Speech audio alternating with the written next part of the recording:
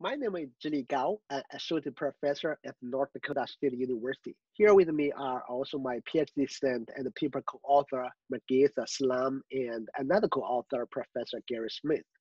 Our presentation topic is strategies to increase the adoption rate of lean construction. The presentation is going to cover introduction, the problem we are solving, objectives and method, as well as research result, along with our conclusion and the potential future work.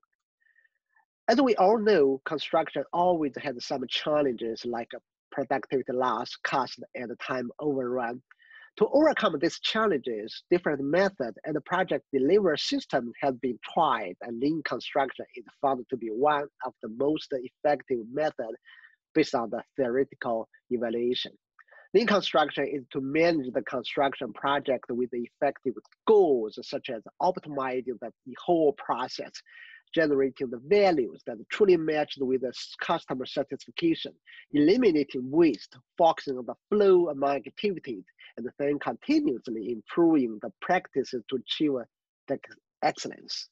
These goals would be achieved by duly giving respect to all the people involved. The construction industry has been seeing some of successful implementation stories, according to the survey conducted by Dodge and Analytics. The project using the lean practices like shown on the chart are three times more likely to be completed ahead of schedule and two times more likely to be completed under budget. At the same time, however, uh, the required uptake of lean construction is still low among the general construction industry.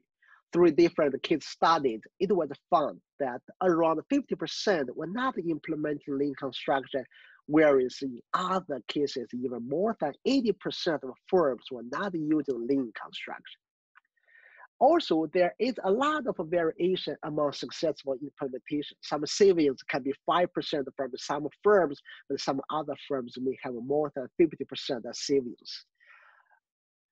However, the average lean firms have received around 10, 1 to 10% saving, whereas very few construction companies were able to achieve more than 20% on cost and time reduction.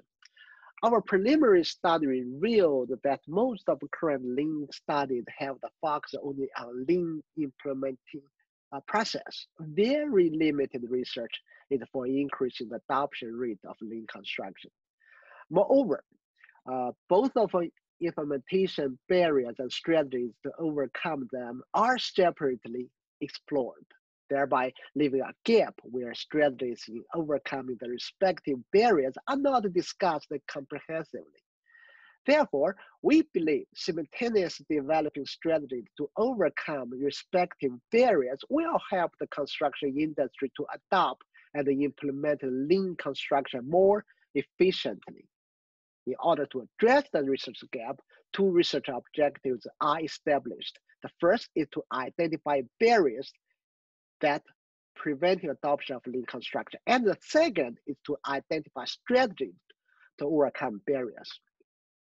The research method involves a preliminary and a detailed literature review which identify gaps and establish study objectives.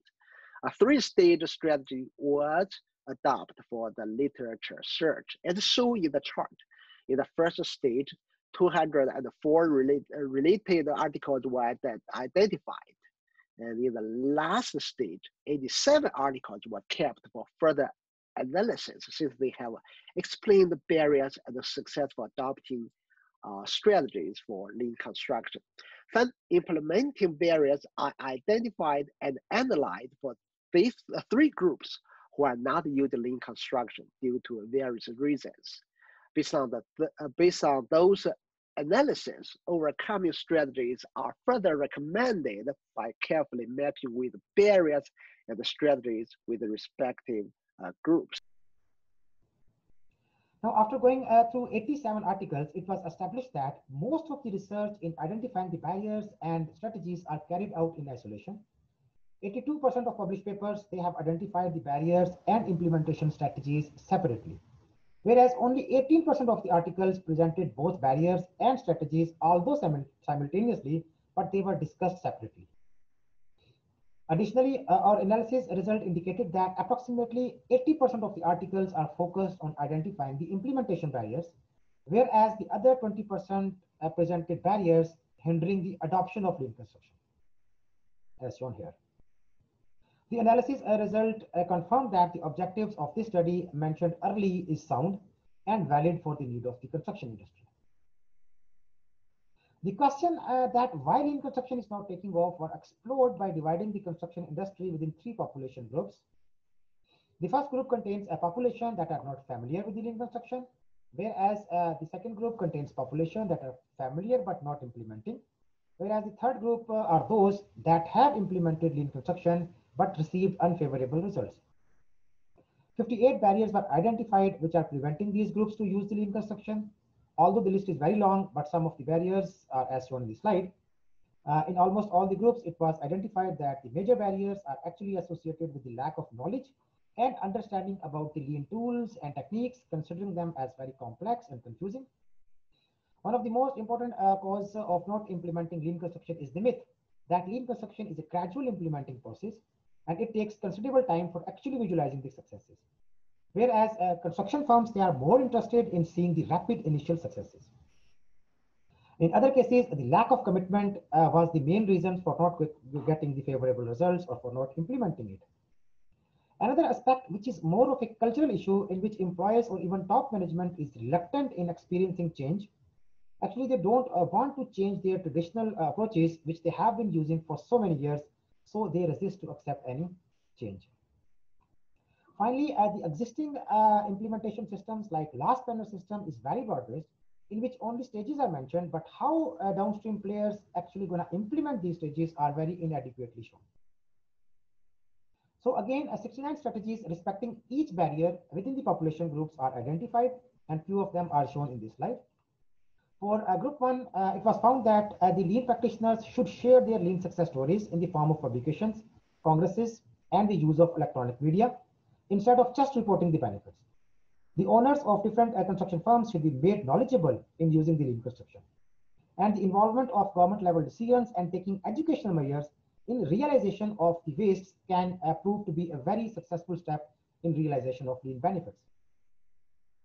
Group 2 uh, population should be realized regarding competitive advantage of lean constructed projects over the uh, projects which were undertaken using the existing practices. This improvement are brought in terms of reduction in waste, defects, and improvements should be shown before giving any time and cost benefits. And in order to improve the confidence on lean construction, it should be started as a trial and then measured for the improvements which should be shared among the employees.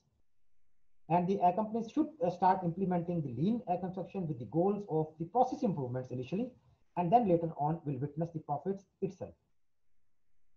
Uh, for uh, group three, uh, the lean construction should be implemented gradually from one activity to another activity, followed by very rigorous evaluation of complete implementation process. It is very easy to modify the existing practices uh, that can cover lean construction principles and objectives and easy to be implemented with minor modifications. In order to make a lean construction uh, implementation successful, the owners or contractors should take all the stakeholders on board by developing a, a trust and long-term relationships with them. The use of uh, technologies like building information modeling, it can be very helpful in improving the visualization of the complete project and help in identifying the non-value adding activities. And in the end, uh, the lean teams uh, should be fully supported in making lean construction. In summary, focus of the lean construction should not only on improving the implementing process, but also on increasing its adoption rate in order to increase adoption rate and improve the implementation, both barriers and strategy to overcome those barriers should be identified simultaneously instead of separate exploration. The necessary link between barriers and strategies cannot be developed if explored separately. In this study, both barriers and strategies targeting like population groups are identified for increasing the uptake of lean construction. The construction industry is always looking toward improvement and overcoming challenges. This study can provide some guidelines for them to successfully open, uh, overcome the adoption and the implementation barriers. Since this study is based on the literature and the past case studies, it would be very beneficial if more case studies are explored to see how successful lean construction have adopted and implemented the lean construction, thereby giving this study a more practical touch. We are very thankful for your time. If you have any questions, please email us with these email addresses. Thank you again.